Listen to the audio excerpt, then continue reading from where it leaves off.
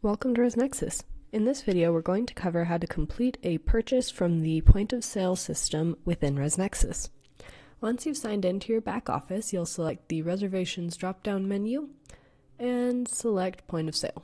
Once you're in here, you'll see all of the retail items that you have available and you can select the item, which will add it to your cart, and then you can process the order. From here, you can select how you want to pay for it, whether it be credit card, check, cash, gift certificate, house account, or if you want to assign it to a room or assign it to a reservation. Once you've selected your payment method, you will record the payment and you will have the option to then print the receipt, enter guest information, or view the reservation summary.